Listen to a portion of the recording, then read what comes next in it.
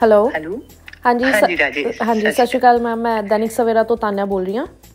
ਹਾਂਜੀ ਸਤਿ ਸ਼੍ਰੀ ਅਕਾਲ ਅੱਜ ਸਵੇਰੇ ਅਸੀਂ ਬਹੁਤ ਹੀ ਵੱਡੀ ਖੁਸ਼ਖਬਰੀ ਸੁਣੀ ਹੈ। ਪੂਰਾ ਸੋਸ਼ਲ ਮੀਡੀਆ ਇਸ ਚੀਜ਼ ਨਾਲ ਭਰਿਆ ਹੋਇਆ ਹੈ ਔਰ ਪੰਜਾਬੀ ਇੰਡਸਟਰੀ 'ਚ ਖੁਸ਼ੀ ਦੀ ਲਹਿਰ ਹੈ। ਕਹਿ ਸਕਦੇ ਸਿੱਧੂ ਦੀ ਹਵੇਲੀ 'ਚ ਦੁਬਾਰਾ ਰੌਣਕਾਂ ਲੱਗੀਆਂ। ਹਾਂਜੀ ਗਿੱਧੇ ਪੈ ਰਹੇ ਆ ਭੰਗੜੇ। ਪੈ ਰਹੇ ਆ ਢੋਲ ਵੱਜ ਰਹੇ। ਜੀ।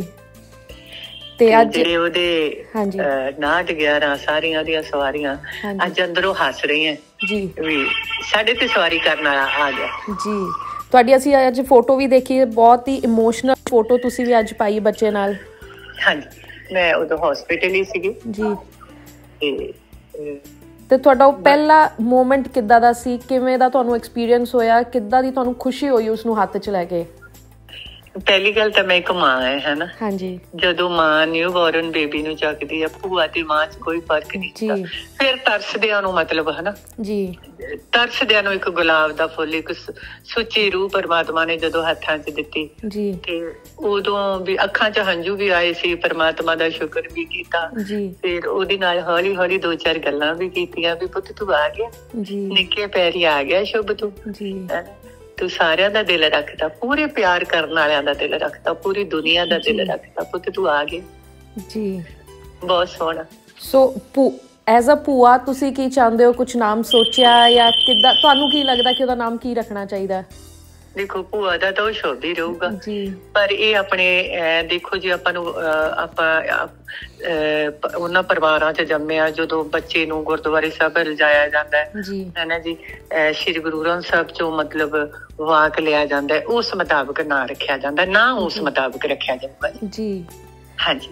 ਸੋ ਤੁਹਾਡੀ ਖੁਸ਼ੀ ਅਸੀਂ ਵੀ ਐਕਸਪੀਰੀਅੰਸ ਕਰ ਪਾ ਰਹੇ ਹਾਂ ਇਸ ਟਾਈਮ ਇੱਥੇ ਦੂਰ ਬੈਠੇ ਹਾਂ ਭਾਵੇਂ ਪਰ ਅਸੀਂ ਮਹਿਸੂਸ ਕਰ ਪਾ ਰਹੇ ਹਾਂ ਕਿ ਇਸ ਟਾਈਮ ਤੁਹਾਨੂੰ ਕਿੰਨੀ ਕੁ ਖੁਸ਼ੀ ਹੋ ਰਹੀ ਹੋਵੇਗੀ ਹੋਵੇਗੀ। ਬਹੁਤ ਬਹੁਤ।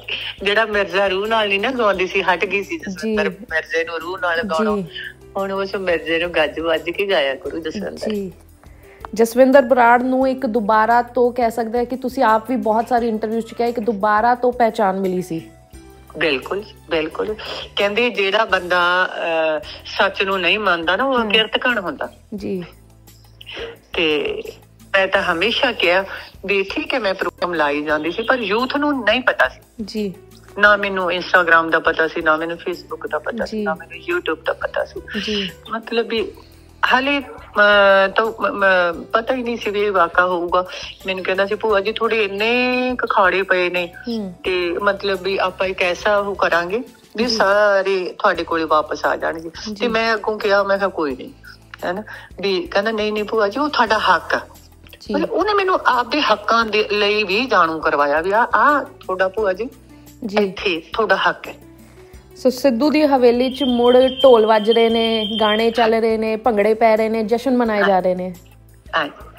ਤੇ ਇਹ ਸਾਰਿਆਂ ਦੀ ਅਰਦਾਸ ਦਾ ਫਲ ਹੈ ਜੀ। ਸਾਰਿਆਂ ਦੀ। ਮੈਂ ਪਹਿਲਾਂ ਵੀ ਕਿਹਾ ਵੀ ਇਹ ਨਹੀਂ ਵੀ ਮੈਂ ਕੱਲੀ ਨੇ ਗਾਣਾ ਗਾਤਾ ਤੇ ਮੇਰੀ ਅਰਦਾਸ ਬਣ ਗਈ। ਜੀ। ਹੈਨਾ?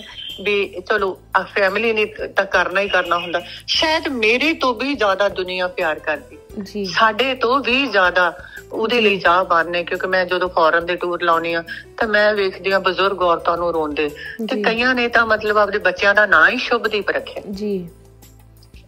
ਤੇ ਇਹ ਸਾਰੇ ਪਿਆਰ ਕਰਨ ਵਾਲਿਆਂ ਦੀ ਅਰਦਾਸ ਦਾ ਨਤੀਜਾ ਹੈ। ਹਾਂਜੀ।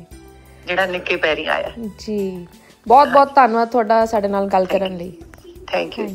Thank you so ਇਹ ਸੀ ਸਾਡੇ ਨਾਲ ਜਸਵਿੰਦਰ ਬਰਾੜ ਜਿਨ੍ਹਾਂ ਨੇ ਅੱਜ ਛੋਟੇ ਸਿੱਧੂ ਨੂੰ ਆਪਣੇ ਹੱਥਾਂ 'ਚ ਚੱਕਿਆ ਤੇ ਸੋਸ਼ਲ ਮੀਡੀਆ ਤੇ ਇੱਕ ਬਹੁਤ ਹੀ ਖੂਬਸੂਰਤ ਫੋਟੋ ਸ਼ੇਅਰ ਕੀਤੀ ਤੇ ਆਪਣੀ ਖੁਸ਼ੀ ਜ਼ਾਹਿਰ ਕੀਤੀ।